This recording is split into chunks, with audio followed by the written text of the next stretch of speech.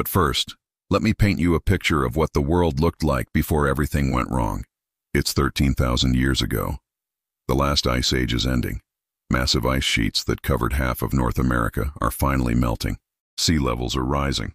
The climate is getting warmer and more stable. Life is, honestly, pretty good.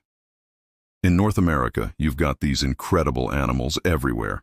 We're talking woolly mammoths with tusks 16 feet long, ground sloths that weigh four tons, dire wolves hunting in packs, ancient camels, giant beavers the size of bears, and these armadillo-like creatures called glyptodonts with shells you could literally use as a shelter. And then there's humans, the Clovis people. These weren't primitive cave dwellers. They were sophisticated hunters with technology that wouldn't be matched for thousands of years. Their spear points, absolutely beautiful, perfectly crafted. Archaeological evidence shows they had trade networks spanning thousands of miles. Everything is trending upward. Evolution is doing its thing. And then, everything stops.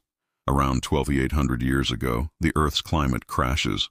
And I don't mean it gets a little colder. I mean temperatures in North America drop by 15 degrees Celsius in some regions, in just a few decades. That's like going from New York to Alaska overnight. This event has a name, the Younger Dryas. Scientists named it after a little Arctic flower called Dryas that suddenly started showing up in places where it had no business being, because those places had turned into frozen wastelands. For 1,000 years, the planet is locked in this deep freeze. Glaciers that had been retreating, they start advancing again. The warm, stable climate that was allowing human civilizations to flourish? Gone. And when it's finally over, when the ice retreats again around 11,800 years ago, the damage is done. Over 35 generations of large mammals, extinct, the Clovis culture, vanished without a trace. The archaeological record literally shows a black layer in the soil, and above that layer, everything is different.